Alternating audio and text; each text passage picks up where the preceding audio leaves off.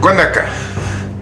La familia Elizalde no puede mover un solo dedo sin el permiso de Franco Santoro.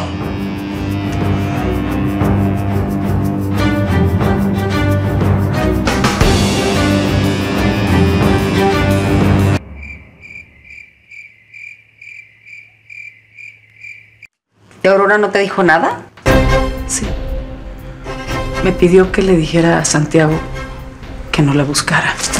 ¿Por qué? No me lo dijo. Pero si no la buscas y la encuentras pronto, Aurora puede estar corriendo un gran peligro. Yo estoy dispuesta a ayudarte en lo que quieras. Y lo siento. Pero no hagan esperar a su padre. En este momento los necesita a su lado. ¿Qué pasó? Obregón mandó la foto de Liliana.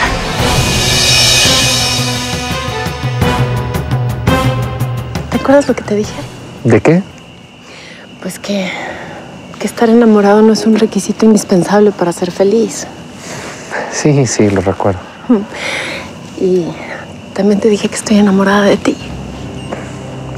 Pero ahora que cada minuto que pasa soy más y más y más y más y más feliz.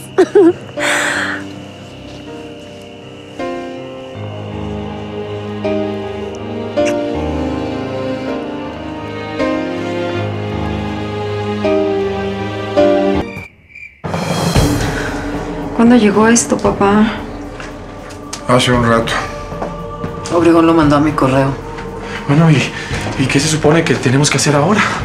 Según su nota, Obregón solamente va a entregarnos a Liliana si Bárbara lleva al embarcadero el dinero que exige. ¿Pero por qué Bárbara? Hija, eso es lo que dice la nota. Que ella tiene que ir sola a dejar el rescate en la lancha que va a encontrar en el lago de los venados. Eso dice.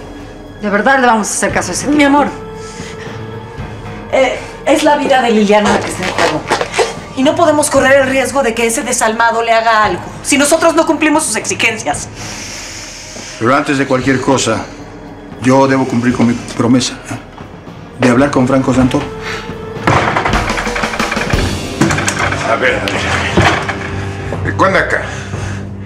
La familia Elizalde no puede mover un solo dedo sin el permiso de Franco Santoro.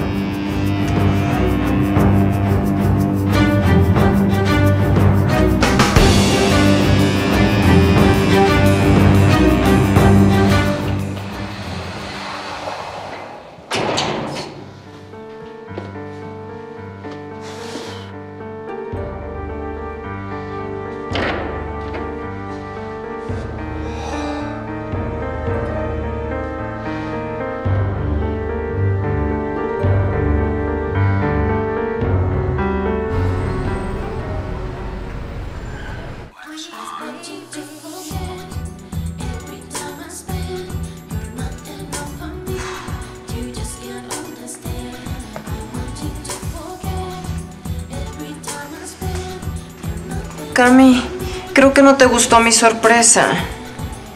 No, sí, sí, me encantó. Lo que sucede es que pues me sorprende.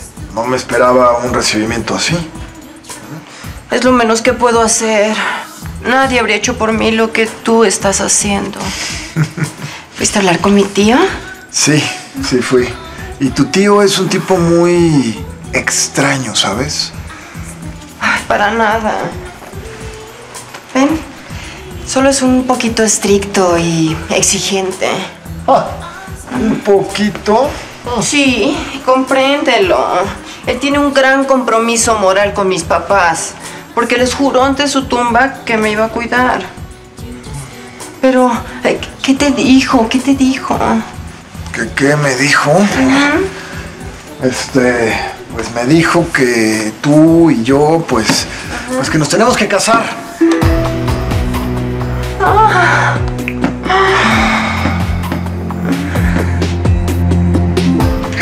Le exigí que se tiene que casar. ¿Y Camilo aceptó esa condición? Parece ser que sí. ¿Quién entiende a los Elizalde? Hey, hey, hold your horses. Un momentito, Eduardo. No te veo contento, ¿eh? Deberías de estar brincando de gusto porque tenemos a Camilo Elizalde aquí en un puño. ¿Ah? Claro, claro, me alegra. Ah, solo eso. Ujú. Pero, ¿sabes qué? ¿Qué? ¿Qué me gustaría verdaderamente saber? ¿Qué? ¿Hasta dónde vamos a llegar con este juego?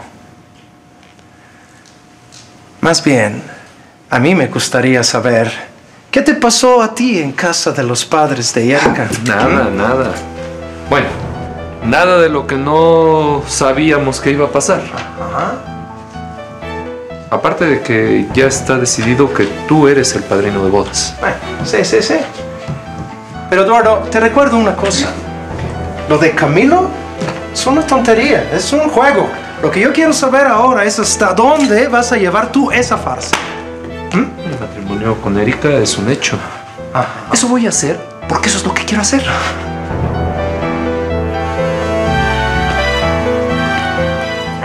Por eso permíteme ayudarte, Damián. A la cama, a la cama. ¿Te vas a caer? ¡Ah! Espérame, espérame. Ven, ven, ven. Eh, ayúdame con la pierna, por favor. Una, dos, tres. ¡Que no me ¡Ah! toques, Fernanda! ¿Cómo? Perdóname. Santiago, llévate a tu hermana. A ti sí te hace caso. Te cayó mal la bebida, Damián. Mira, te vas a lastimar, Damián. Cálmate ya, ¿sí? Ya cálmate, por favor. Damián, no tomes. Damián, no me mires. Voy a ir a ver a Franco Santoro. Ven acá, ya, ya. Ahí está, mamá. Quédate, tranquilo. Suéltame. No pierdas de vista a tu hermana. Que si nos descuidamos, también no la van a robar. Damián, quédate. Fer, no se lo puede dejar solo ni un momento. Ya lo sé. No te preocupes, hermana. Yo cuido a Damián en lo que tú te ocupas de lo de Liliana. Tu papá ya nos contó a Aníbal y a mí lo que está pasando. No te preocupes. Gracias.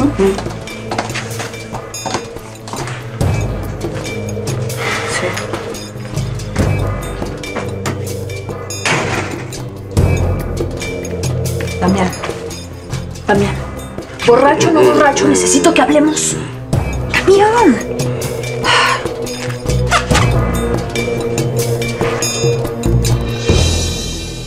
Damián.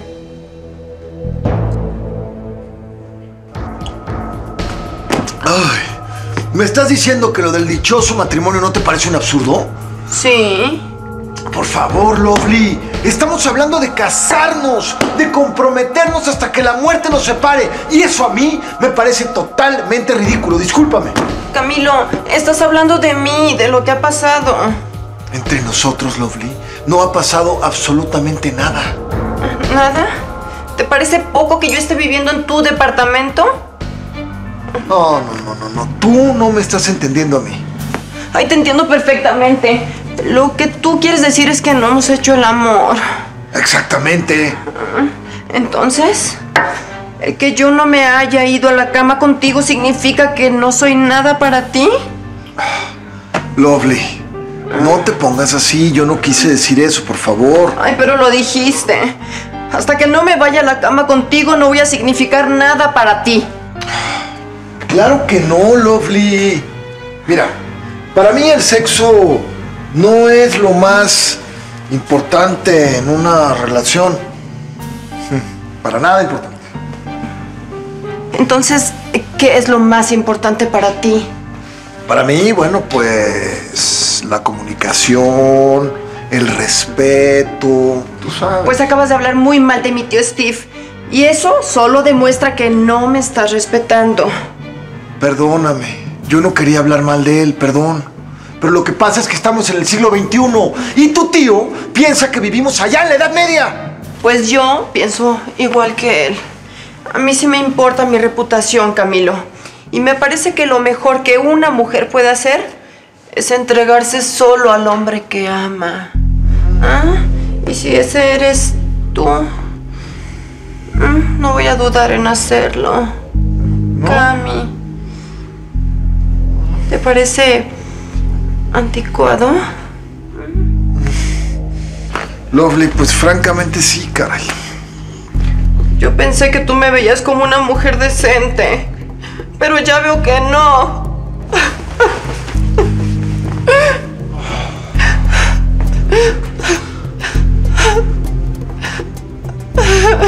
Lovely. Claro que no, mi amor. Claro que no.